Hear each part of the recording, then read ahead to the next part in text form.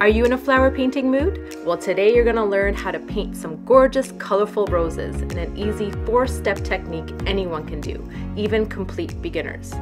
By the end of this video, you'll know how to paint roses in any color you choose to add to your own project, and also how to paint them in a pretty vintage style bouquet.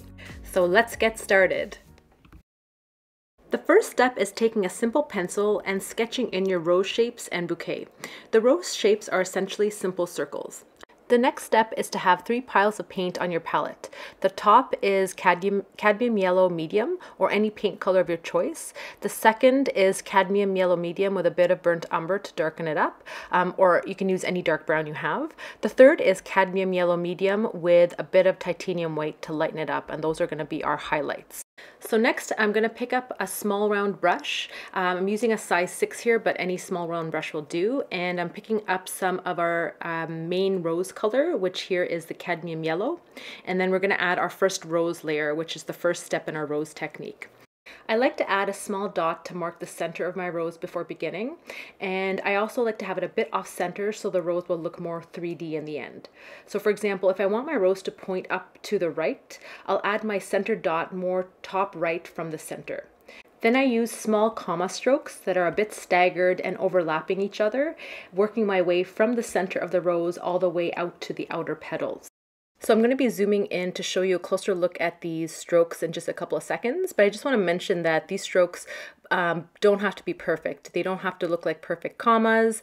Um, they can be a little bit asymmetrical and that's going to be totally fine. This is just the first layer and so you don't have to worry about getting the, the strokes perfect. Uh, the one thing we do want to focus on though is getting that circular pattern with slightly overlapping strokes um, and that's going to give us that rose shape um, and the petals that are overlapping. So you're going to continue these comma strokes all the way to till you get to the border of your sketch. Um, and that's why using that sketch is really, really helpful because it guides you to that shape, that, that round circular shape, and also shows you where your rose ends and where the border is and where to put those outer petals. Now for those outer petals, they're going to be slightly different than the comma stroke. They're going to look a little bit more angular. So when you look at a rose um, from the top, you'll notice that the outer petals are looser and they kind of form the shape of a triangle. So that's what I'm going to mimic here. I'm going to use the border sketch and I'm going to paint in really wide triangles along that circle. And that's going to give us that shape of those loose um, rose petals at the outer edges. And that's pretty much it for our first step of our rose. So before moving on to the next step, let's take a look at what a rose looks like. So this is just um, an imitation rose I had laying around my house, and I used it to help me guide the shape of my roses. So as you can see, the outer petals are a little bit more of that triangle shape. So that's why I added that into my painting, and I added the outer looser petals to look more triangular. So That's just a little tip I do when I start a painting as I look at a reference object or a reference picture to make my objects look more realistic. And so I can mimic what I actually see with my eyes and transfer that as much as I can onto canvas. So the second step to paint our rose is to add in our shadows. So we're going to grab the same brush, our size 6 round brush, and we're going to use the same comma strokes as we did in the first step, but we're going to fill in the white spaces between the, the strokes from the first step. So I'm going to start again in the center, like I did before and I'm just going to try to fill in as best I can. You don't have to be perfect here. They can slightly overlap and that's totally fine as well. But I'm going to do my best to uh, try to get in between the strokes from the first step and try to cover as much as that of that white in between the strokes as I can. Now this color might look very dark when we apply it in this step, but in the later steps, we're actually going to layer um, an even lighter color over top, and it's gonna give us a really nice shadow and depth to our rose. So don't be scared here that it's looking a little bit too dark. We want it to actually uh, have a quite a bit of a contrast between the first layer of petals and the color in the second layer. Um, and that's what's gonna give us that depth in the later steps. The third step to paint in our rose is to add highlights. And this is really going to make the rose pop. Right now it's looking really flat and two-dimensional and adding this step is actually going to bring the, the rose more to life. Using the lightest paint on our palette and the same brush, we're gonna we're gonna use the same comma strokes on our rose, but instead of this time starting in the middle of our rose, we're gonna start the midway point uh, between the, the center of our rose and the outer petals. The reason why we want to leave the middle of the rose um, without these highlights is because it's going to give an extra illusion of depth when it's done. And just like in the first two steps, we don't have to worry too much here about getting the comma strokes perfectly symmetrical or looking exactly like commas. Um, it's going to look really good in the end because in nature, things are not perfect and they're a little bit asymmetrical. So um, it's going to look great. So just go with the flow. As long as we have that flow of uh, petals that are going in a circular overlapping um, uh, pattern, that's kind of what we want to aim for. But in terms of perfection and getting each of the strokes perfect, um, don't worry too much about that. It's just, it's going to look amazing in the end. One thing to keep in mind in this step is we want the shadow color and the main color, which is the cad yellow, to, which we did in the first two steps. We want those to still show through in between these strokes. Uh, so try not to cover all of them if you can, but if, if for example you do, uh, I'm going to show you towards the end of this of this video of how to fix that. Our rose is definitely getting there. It's looking a lot more dimensional now and a lot less flat and 2D with just that simple addition of our highlight strokes. So now what I like to do at the end, you can definitely leave it at this point, but what I like to do to give it an extra pop, an extra layer of dimension is to add a tiny bit of white. So I take a, a, little bit of titanium white on my brush and I just add a few, um, I outline a few of the outer petals with the titanium white. You don't want to take the white and cover the whole petal. It's just the edges of the petal we want, um, just the border of them with a little bit of titanium white. Um, and you don't have to do all of the petals on the all of the outer petals of the rose. You can just do it on a few and that's fine too. Or if you want to add them on all of them, you can add that too. I'm going to show you towards the end. Um, I've made basically two of these paintings. One I added quite a bit of the white to um, a, a, lot of the outer petals of my roses and some and the other painting I did just a few here and there and you can see the difference. Um, so it's just def definitely it's it's your personal preference of what you like. So I'm going to show that to you towards the end of this video. Another little tip for this step is to wait for the layers below this, um, below the white to dry before adding the white on top of it. Here I didn't and my highlight layer below is still a bit wet and the white when I'm applying it to the edges of my petal, um, it's kind of blending in with that, that lighter yellow. So if you can try to wait for your, your rose to fully dry and then do the highlight, the white, pure white highlights over top, that would probably work better, which is what I'm going to do for the, re the rest of the roses. So for the rest of the roses, I'm going to do the three steps and then the final layer of the titanium white I'm going to do at the very end. I'm just going to speed up the video just a bit for the final four roses, but I'm using the same four steps to paint them in. Um, if you want to see it in a little bit more detail and slow down, feel free to slow down the video.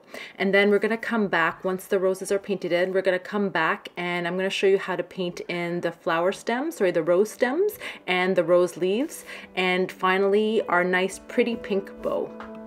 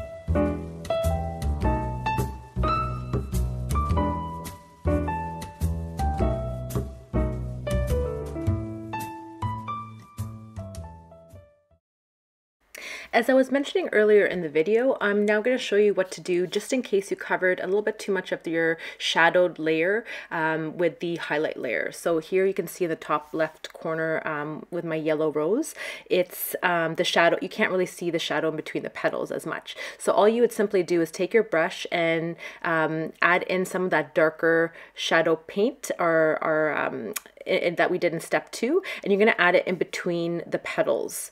So that it's just going to make the highlight the highlighted petals pop even more, and that's all you really need to do. Once that's done and you're happy with the amount of shadow you've added into your your rose, then you can um, lightly go over it with the the final highlight step and the titanium white if you want, but you can leave it at the step if you'd like as well.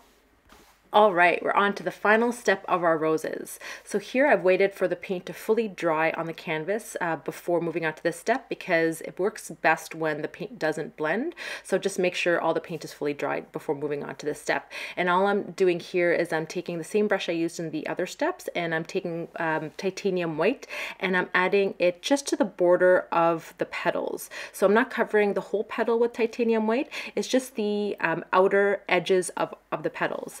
And also here you can choose if you want to add the titanium white just to the outer petals of your rose, or you can do all the petals of your, of your rose all the way to the center. It's up to your personal preference and what you like best. I really love adding this final touch into um, paintings. I find adding just a little bit of titanium white to the highlighted areas of your painting just gives it that extra pop and dimension and it's just a simple little trick that can bring your painting to life. Now we're going to move on to the rose stems. So on my palette, I have three versions of green and I've used Hooker's Green to create the other two versions. So I've created the top one is Hooker's Green, the, the middle one is Hooker's Green with a little bit of titanium white, and the final uh, blob of paint is Hooker's Green with a tiny bit of burnt umber. So I have the I have a medium tone, I have our highlight tone, and I have our shadow tone. So what I'm doing first is I'm grabbing, um, I'm using uh, a quarter inch flat brush here and I'm grabbing the darker shadowed uh, green and I'm just going to create some some long stems starting from the rose all the way down towards the bottom of the canvas and just using some downward strokes to create those stems. Once you're happy with the amount of stems you've added in, you're just going to take some of the light green color and you're going to add in some highlighted uh, uh, rose stems in your bouquet just to give it that extra depth. Now we're going to move on to our rose leaves. Now before the step I went ahead with a pencil and I sketched in where I want my rose leaves to go but you can definitely do it ad hoc and you don't have to sketch them in. I just as personal preference it just makes it easier for me to paint them as I go when I have a, when I'm working with a sketch. So to paint them in, I'm using the same round brush as I used with the roses, and I'm going to use a mix between the, the top green color and the bottom green color. So your, your pure hooker's green, which is at the top, and then at the bottom is our shadowed color, which is our hooker's green mixed in with a tiny bit of burnt umber. And I'm just going to be using a mix of those colors to fill in my roses, sorry, rose leaves.